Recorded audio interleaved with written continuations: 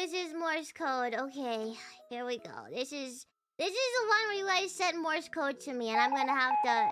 You guys are gonna have to stay here and watch me decipher them. This is your fault. Okay. Flashback. Okay. I just love Morse code. I love it. Pebbles, you know what to do. Send her What? SC with full Morse code. Starting from now. What? Oh!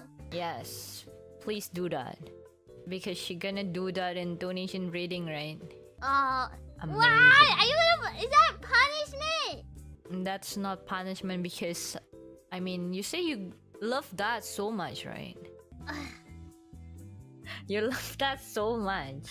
Uh, that's punishment. You're punishing me. And Here's the first one.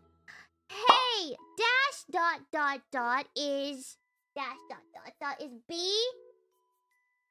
Dot dot is that I? Oh, it is Biboo. B. Yes. Okay. So hey B. Okay. Second word.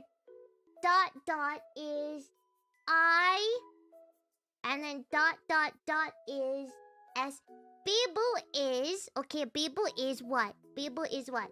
Uh, dash dot dash dot dash dot dash dot Is this cute? Is this cute? And then dot dot dash dot dot dash. Is that you? It is cute. Yay! Translated. Look at me.